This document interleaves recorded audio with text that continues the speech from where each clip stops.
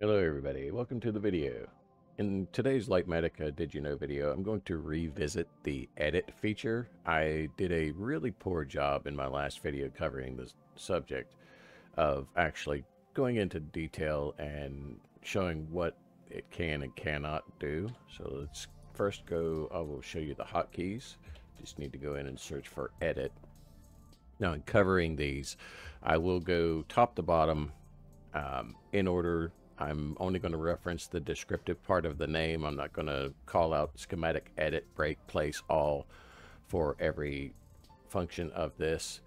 So as you can see, they're on screen right now. Let me go ahead and I will take, I'm going to turn off the overlay. I'm going to turn off the translucent and we're going to work with this loaded schematic right here. And later in the video, I will show you how to take this and do something a little more like this. Yeah. Ignore my ugly edits. I did that for demonstration purposes. But as you can see, we've basically removed everything from down below. And that brings us to the first hotkey, the break place all. Uh, before we do that, let's uh, the basic edit. If you left click a block, it will delete the block from the schematic and anything inside of the selection area. If you right click, you can place a block. Now I'm not currently selected on this and you can see that the bounding box is red. We actually need to, in order to use the hotkeys, we have to have it selected. So you would go into schematic placement and you would click on that schematic itself. And now you can see that it is blue and I am ready to start editing. Well, the first hotkey, like I said, is the break place all. So if I wanted to break all of the grass, well, I can actually do so. I just hold down that hotkey. Uh, again, all of the hotkeys require you hold down a key. I suggest or recommend that you only use a singular key in your keybind when setting them. Um, if you use like control one, control is used elsewhere in the mod, so it can actually cause adverse effect. Uh, moving on, let's go ahead and I want to remove all of the grass. And I'm, while holding that key, all I need to do is left click and then I can remove everything. And you can see all of the stuff is being deleted from the schematic as we move along. Now, if I'm holding that key and I right click, I can, it, it, this is kind of an adverse effect. Um, there would be scenarios where you could actually utilize this, but if I right click with a block in my hand, it is just going to fill all of the empty air space with that specific block. Let's go ahead and reload this one here. So it's back to the norm.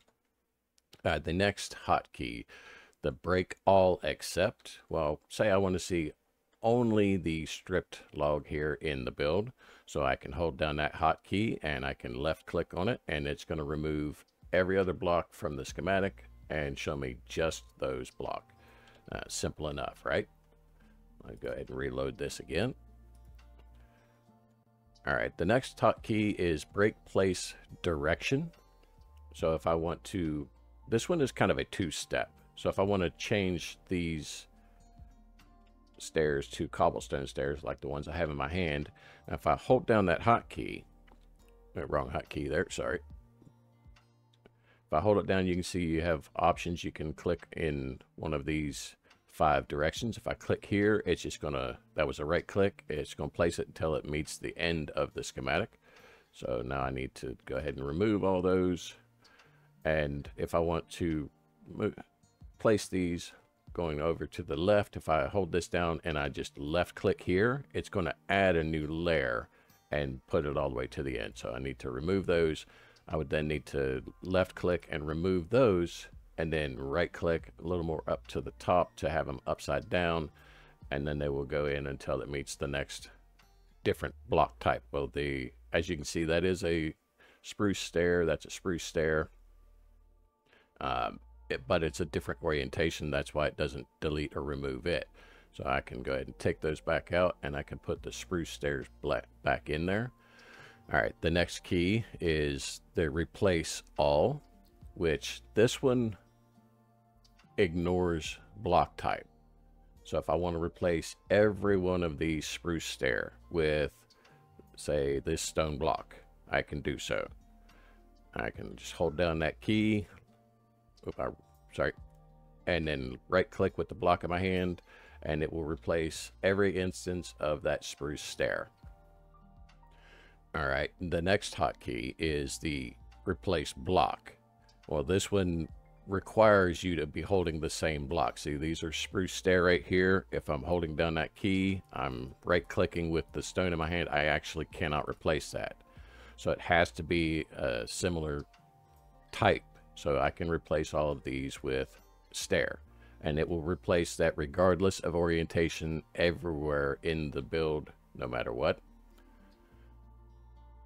The last one is replace direction and this is also based on a block type. So if I want to change these stair here to spruce stair,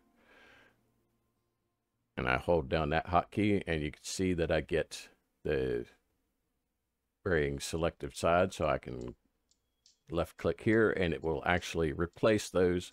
It's a better use of the directional uh, break place direction. It will actually replace the existing block as you would assume it intended. So the naming is slightly confusing, but it's tolerable. We can get through it. All right, say this is the build, uh, ugly as it is, obviously, and you want to remove all of the land and everything underneath here. Well, you can see that there's stone in the build there, but if I go down here and I use the break place all hotkey and I left click on the stone, well, now it has removed all of the stone in the build up here everywhere that it existed and that kind of breaks the build. So what we can do to negate that, let me go ahead and I'll reload this.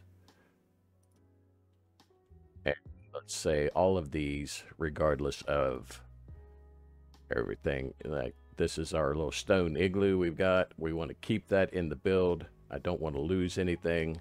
I just want to remove all of the earth and everything down below. What we can do is change our render layers to negate and remove any layers we don't want to be affected by our hotkeys. So I'm going to set it to all below. I'll set it here. And now as you can see, there is this, if I can page up and down, okay, there's the first, the bottom layer of our little stone igloo over there. I'll page down one more here. And then I'll just start removing layers of blocks. And you can see just by holding down this hotkey and clicking, we're removing everything down below. And that's how you can actually achieve that goal there. Now, this stone structure I took out has a lot of different orientated block um, you know, walls attached to on one side, stuff like that. So it would be a tedious but achievable goal nonetheless. And then if we change our render layers back to all, you can see our stone structure is still intact. It did not get deleted when I deleted all of the other stone. An easier, far more simple means of isolating just the house, the structure that you want in your build would be to create a schematic from a schematic within the world. So I'll go ahead and I'll reload this and we'll turn that one on. I'll go ahead and turn these off. Let's go over here and you can see I have a floating island with a house on it, but this is somebody else's schematic I downloaded. All I want is the house. I don't want the floating land or anything around it. So what we can do is I've already made a selection around it and I can save this schematic from the world itself, but I'm going to edit just a few things here. I do not want the leaf block in it, so I can hold down the break place all and just left click on it and remove those from the build. Simple enough. And I don't want any of this stuff over here. So we'll just start clicking and everywhere that that block itself exists, it will be removed. Okay, there we go. Just a handful there. That's simple enough. Here, we'll even do this. There we go. Now I've got it isolated. All I have is the build. I want to give it a point of origin so that when I load it into the world, it will actually be exactly where I want it. So I just named it structure. Let me turn on manual origin, click on move to player to make sure it is currently at my feet. You can see the box has appeared there. So now we go into save the schematic and you'll want to check the save from schematic world box and then just click save. And you can see now I have the structure here. And I'll go ahead and I will load this in. And I'll just load it right here. Doesn't matter. And then I'm going to hide the other schematic.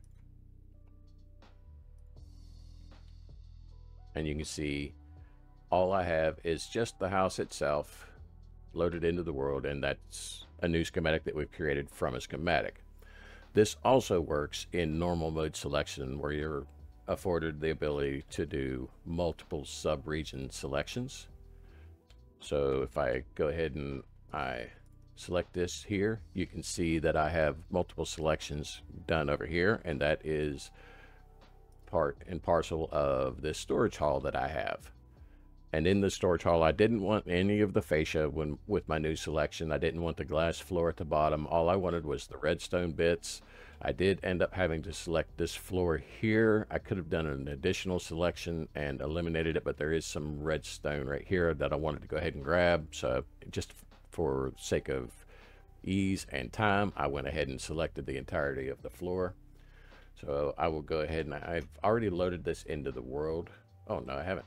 I took it out of the world. So let's fly up here a little bit.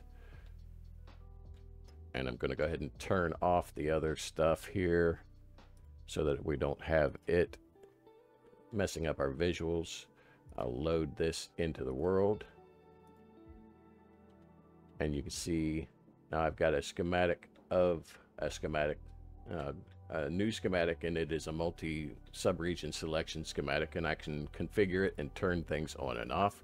So if I don't want the water streams and everything, I can turn off the bulk of the redstone down below. I can turn off the non-stackable processing.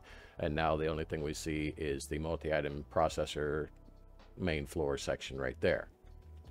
Well, that's basically it in a nutshell. As simplified, easy to go. Um, I hope you understood and followed me along quite well.